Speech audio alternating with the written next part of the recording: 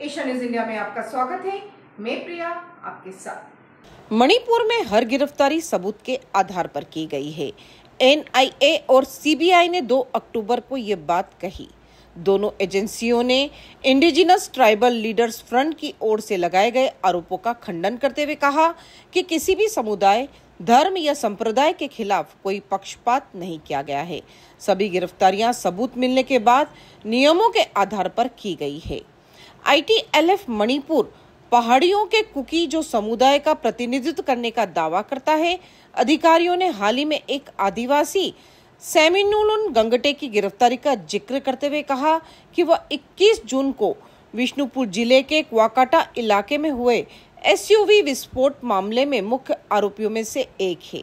इस विस्फोट में तीन लोग घायल हुए थे।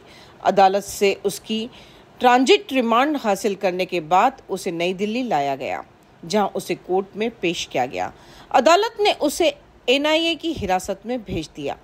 एजेंसियों का यह बयान ऐसे समय में आया है जब राज्य में हो रही गिरफ्तारियों पर लोग सवाल उठा रहे हैं। आदिवासी समूह मणिपुर में एनआईए और सीबीआई पर मनमानी और ज्यादती करने का आरोप लगा रहे हैं। सीबीआई ने 1 अक्टूबर को दो स्टूडेंट्स की हत्या के मामले में चार आरोपियों को गिरफ़्तार किया था। चूरा चांदपुर में प्रदर्शनकारियों ने गिरफ़्तार लोगों को बेकसूर बताते हुए उनकी रिहाई के लिए प्रदर्शन शुरू कर दिया था। वहीं एजेंसियों का कहना है कि ऐसे माहौल में उन्हें जाँच में मुश्किलों का सामना करना पड़ रहा है। इसी के साथ बने रहिए एशिया न्यूज़ इंडिया के साथ। धन्यवाद।